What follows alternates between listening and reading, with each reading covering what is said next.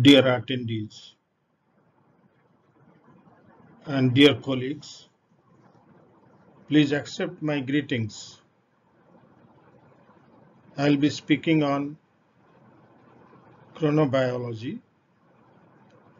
And before I start speaking on chronobiology, I must appreciate the role of Teaching Learning Center of Ramanujan College doing wonderful work. And this refresher course, I hope will be very fruitful.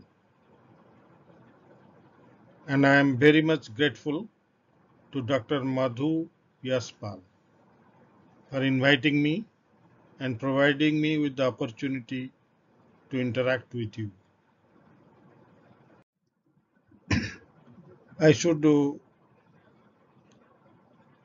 tell you that uh, there will be four different chapters on chronobiology and uh, the basic chronobiology I'll be talking about in two chapters and the application aspects of chronobiology will be delivered by my colleague Professor Arti Parganiha. So we'll be talking about chronotherapy, chronomedicine, all the application aspects of chronobiology. Before I begin, I must tell you that there are many arrows of time, but I have selected the most popular one and I identified that there are basically three. The first one is the thermodynamic arrow of time. The second one is the psychological arrow of time. And the third one is cosmological arrow of time. So let me introduce that what is this uh, thermodynamic arrow of time. In this case, you know, that disorder or entropy always increases with time. That means we cannot expect that a broken cup, the pieces of that broken cup will join together and uh, climb up on the table. So what does it mean? That means disorderliness or entropy always increases with time. So we cannot uh, go to the past and then we recreate the whole scene. Okay. So that's the thermodynamic arrow of time. So in the psychological arrow of time, we remember the past, but not the future. So that means you know that we can recall that when I was a college student, I was enjoying a lot. You can remember the entire past. But you can never remember the future. So if you remember the future, then you become a billionaire the next morning because you will know that which ticket is appearing in the lottery. Now, the third one is the cosmological arrow of time. This is the direction of the time in which the universe is expanding. Okay. Only expansion is possible with the passage of time, but contraction is not possible. So this is known as the cosmological arrow of time. The universe is always expanding. Now I'll introduce another arrow of time which I call as chronobiological arrow of time. And you know that it is a cycle that involves 360 degrees. The time is circular here. It implies that we know the past, we know the present as well as the future. So that I will explain little later during the course of my lecture. So now let us see that uh, what is this chronobiological era of time? That means we are talking about cycles. We are talking about periodicity. and uh, as you know that uh, living organisms always keep track of the passage of time. So here, how do they track? Using clocks, you know, using biological clocks. And then I'll be talking about those clocks a little later. Now you can see that uh, the bacteria, fungi, plants, insects, and mammals. You can say that all living organisms, they are capable of tracking the passage of time. How do they track? They use the biological clocks and they track the passage of time. So now you look at this picture, you can easily understand just self-explanatory. Now you see that different stages of uh, sleep wakefulness. And these are very, very, you know, clock controlled activities, biological clock controlled activities. So you can see that you see this is the pictures from the parliament you know. So that means what we can say, these clock controlled activities are uh, uncontrollable. That means when you have a hours to sleep a doze off, that is not under your control. That is under the control of the biological clock. So similarly, you can see. So these are uh, not only in human beings but also in animals. You can see that. The phenomenon of sleep and uh, wakefulness. Now you can see that it's it's an uncontrollable urge to sleep. Now look at the these pictures you just imagine that uh, you see now it's a running train and people are sleeping on the roof, rooftop of the the train. Now you look at the rickshaw puller. Look at the animals, how they are sleeping. What I mean to say, that uh, there is an uncontrollable, uncontrollable urge to sleep. And you can see it's a metro station. So don't think that the person is reading the newspaper. he's actually sleeping in a standing posture. So now I'd like to tell you the locations of these clocks, biological clocks. So the, from this picture, symbolically I would like to tell you that they are present in each and every cell of the human body except of course the erythrocytes. The biological clock activities of the erythrocyte is not controlled by the central nervous system. That is the I'll talk little later about it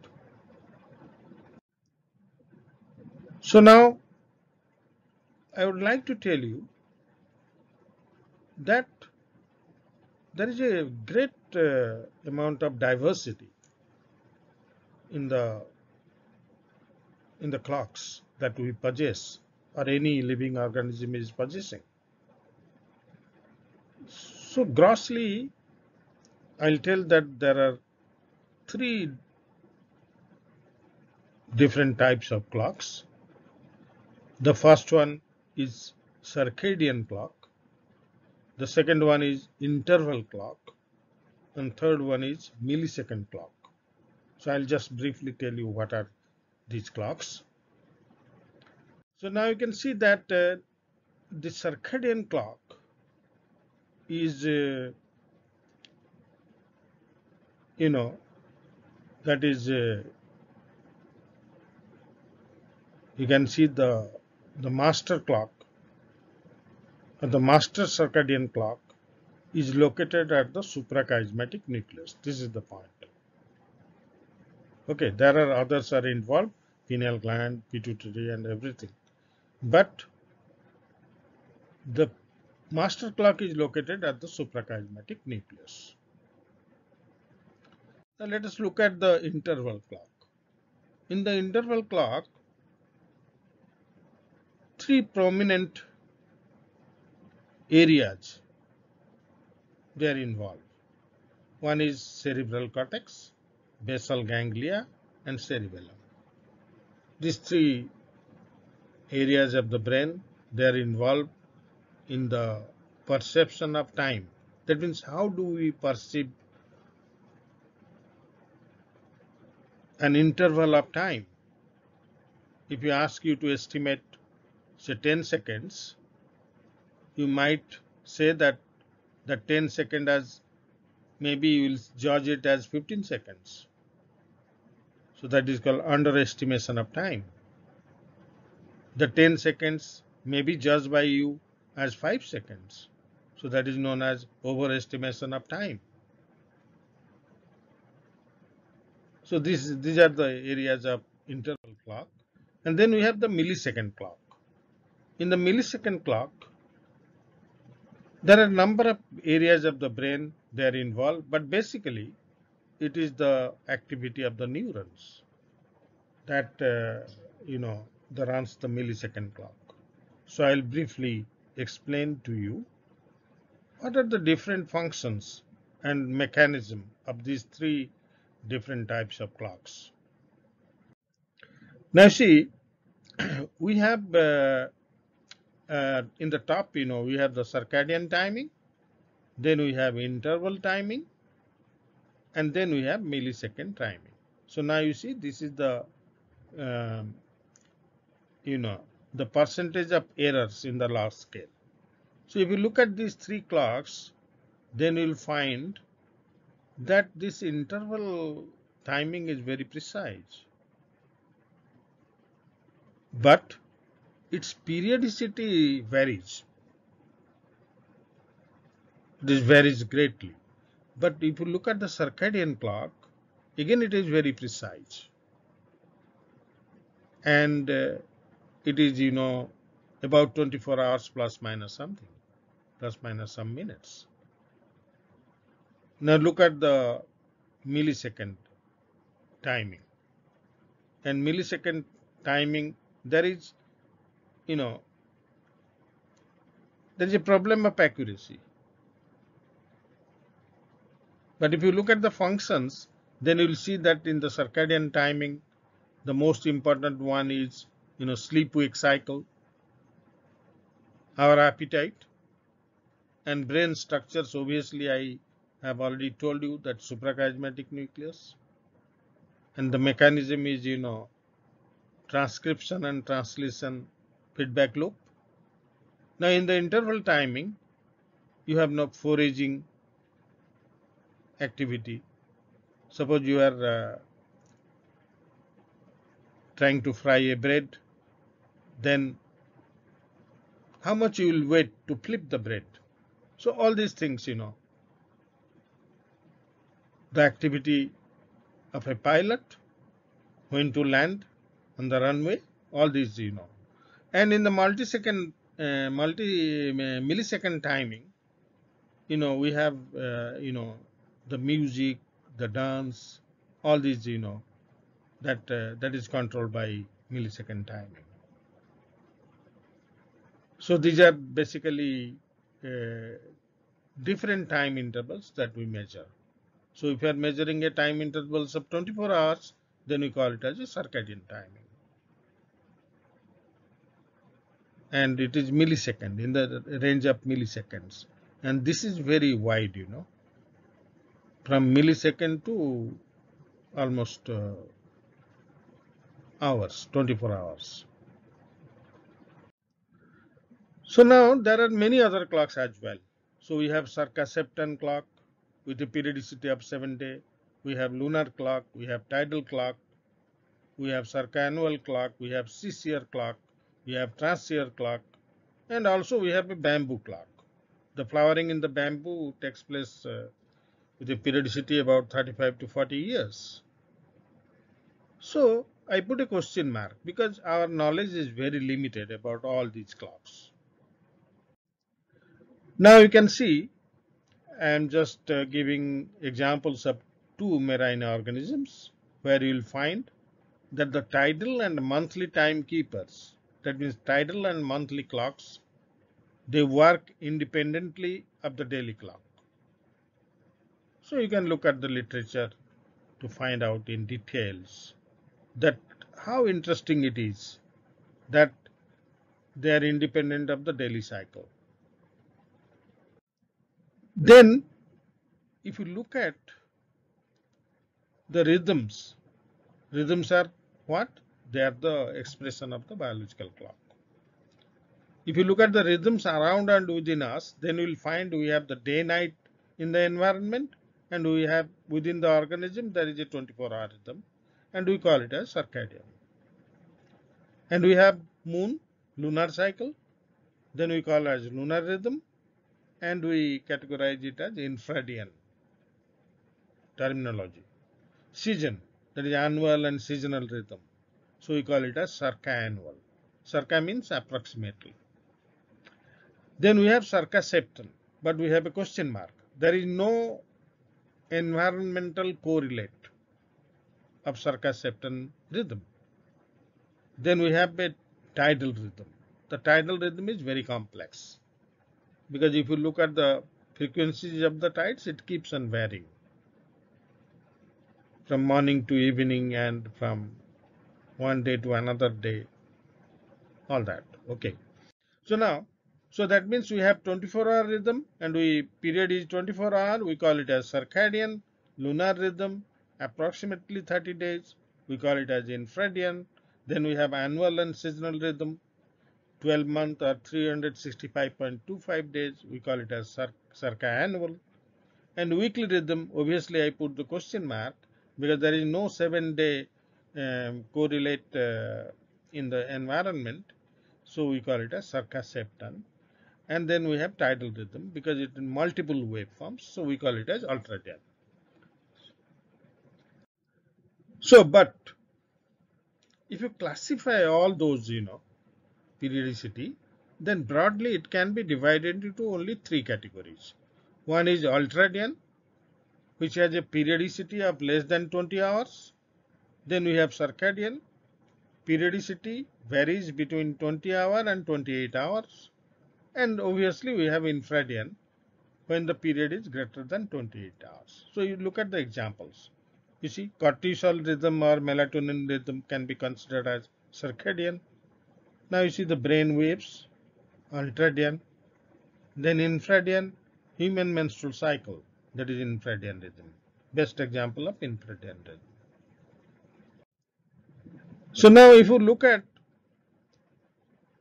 the rhythms in biological functions, then you will find that rhythms are present in almost all biological functions, be it physiological, say for example physical activity heart rate blood pressure be it endocrine system cortisol melatonin growth factor cytokines all they vary you know behavioral food intake sleep wake cycle psycho-emotional variables like mood stress cognitive performances then cellular you know metabolism gene expression and everything so we find rhythms you know in almost all biological functions. So um, in the next uh, lecture, I'll be talking about biological clock and its historical background in little detail.